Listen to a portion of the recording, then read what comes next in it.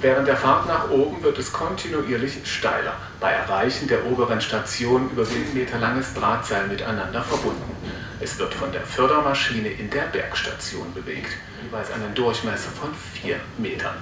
Dieses auch auf dem Dach der Bergstation erwartet Sie Interessantes. In luftiger Höhe erleben Sie einen einmaligen Panoramablick über der Seite des Gebäudes, bringen wir Sie ganz bequem nach oben.